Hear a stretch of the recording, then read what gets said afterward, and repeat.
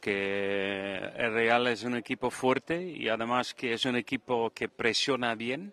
Entonces, casi como nos pasó en el, primer partido del campeonato, que había muchos momentos de partido uno contra uno.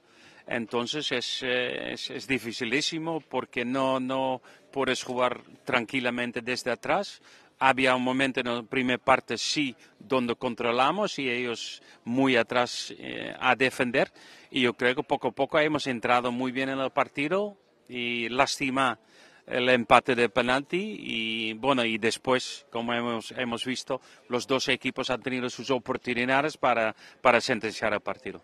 Sí, claro que por estos 120 minutos hay que, hay que recuperarlo. Es verdad que parece que tenemos un día más pero bueno, yo creo que tampoco cuenta mucho porque todos los equipos tienen un calendario que han tenido con, los viajes y ya, ya veremos si, si podemos recuperar bien.